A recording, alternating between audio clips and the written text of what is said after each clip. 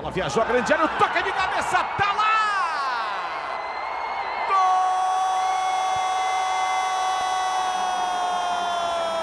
Gol! É da Desportiva Ferroviária Espírito Santo. Um gol de cabeça numa jogada que começou na cobrança de escanteio. Subiu, tocou na bola, jogou sem chance pro Jefferson. Você curtir de novo, olha só, subiu no meio da zaga do Botafogo.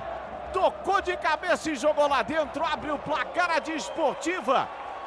Um para Desportiva, zero para o Botafogo.